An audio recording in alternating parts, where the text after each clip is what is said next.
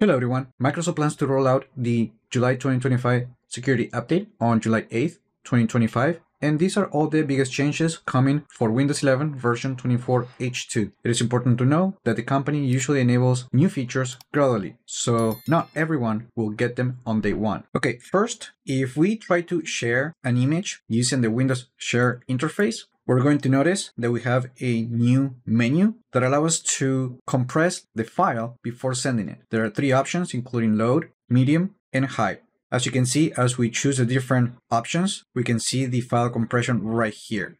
And this allows you to just send a small image through the internet. One thing to point out is that the compression will not affect the original image. We can even see that the feature actually makes a copy of that file and also appends the word compressed on the file name. As part of this Patch Tuesday update, Microsoft is also updating the Windows Backup tool by adding a new Transfer to New PC option, which enables you to transfer your files and settings from an old computer to a new computer over the local network without having to use the cloud. However, the feature actually doesn't work yet. So I think Microsoft should have like kept this feature on the Windows Insider program for a little bit longer. But basically this is how it works. So when you click that option to transfer your files, you're going to get to this page. Then you're going to need to open the same feature on the new computer. And then you're going to type the name of your computer as you see it right here on the screen. And then the system is going to generate a code that you need to confirm in order to continue with the process. Now, this feature actually is going to work on older versions of Windows, Windows 11, and also on Windows 10. But one thing you have to make sure is that both computers are connected to the same network. If they are not, you can click the change button and then you can access the settings app to make the necessary adjustments. Microsoft had previously said that the intention is also to bring this feature to the out-of-box experience, allowing you to transfer your files and settings during the initial setup of Windows 11. Now, if we open the settings app and then if we go to the taskbar options,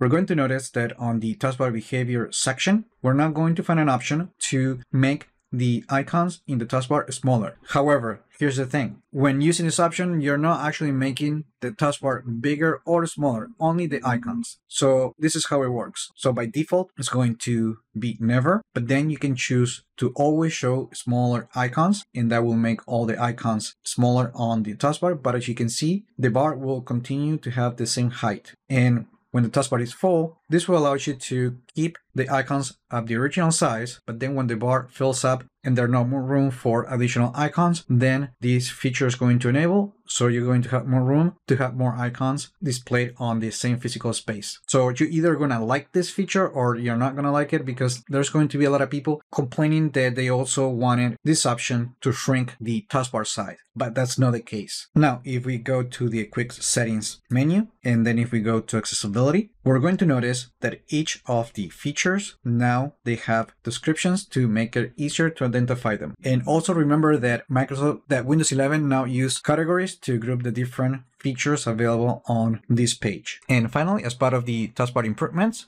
for July 2025, we're going to see that Microsoft is updating the state pill for when an application needs your attention to be wider. Now, in the settings app, if we go to the language and region settings, we're going to notice that the system now is going to display the device setup region. So while setting up Windows 11, you probably choose a country or region, and that selection now is going to show up on the settings app just to make it easier to find that information without having to use extra steps. Now, as part of the July 2025 update for Windows 11, Microsoft is also introducing a new feature for Windows Narrator called screen curtain, which basically is going to black out the screen while the feature continues to read aloud to protect the privacy of the user. You can turn on this feature while narrator is running and using the caps lock plus control plus C keyboard shortcut. Now, if you want to disable this feature, just repeat the same shortcut. In addition, as part of the Windows Narrator experience, Microsoft is introducing a new feature to better discover and learn about the new features coming to the narrator. Now, if you use a Copilot Plus PC, Click to Do is getting an update, and basically it adds a new option called Ask M365 Copilot. And basically, when you select any text or image using Click to Do, you will be able to send that selection to the Microsoft 365 Copilot chatbot. This option is only available for organizations with a Microsoft 365 subscription. And finally, the company is also rolling out changes to the way users in Europe configure a default browser. So currently for everyone, when clicking the set default option for a particular browser, the system will make the default browser for specific file types, including HTTP, HTTPS,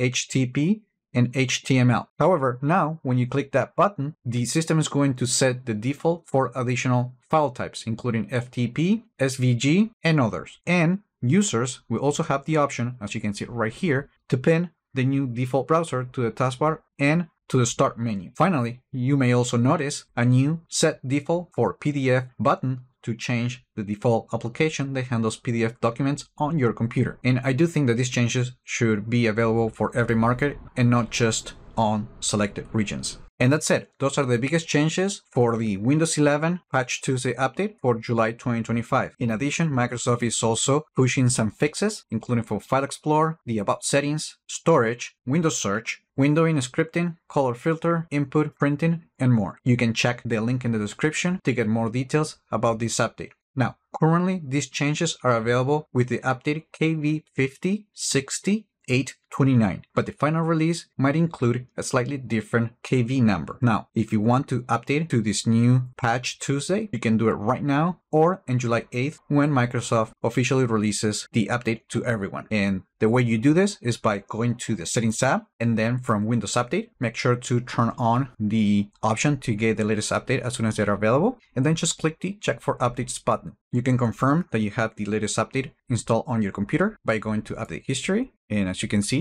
we have the July 2025 update installed on this computer already. Now, let me know what you think about these new features and changes coming to Windows 11 version 24H2. Like the video, share it, subscribe to the channel if you haven't done that yet, and I just hope this video was informative for you, and I would like to thank you for viewing.